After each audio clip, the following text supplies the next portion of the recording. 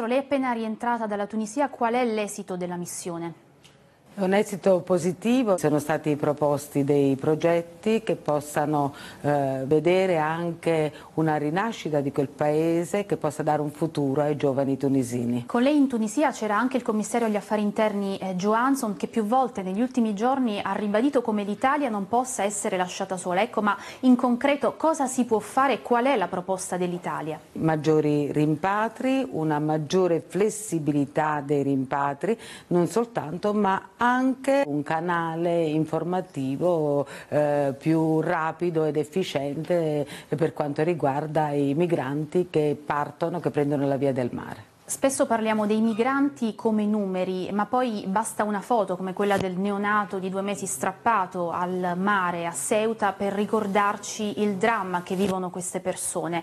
Eh, lei da donna, da madre, prima ancora che da ministro, cosa sente di dire su questo? L'immigrazione è un problema strutturale, non riusciremo mai a eliminarlo, e, ma sono problemi che, gravi che devono però vedere presente la comunità internazionale e in questo caso la comunità europea sta prendendo eh, posizione anche nei confronti degli altri paesi europei che su questo fronte non sempre vogliono sentire e vedere la, la realtà.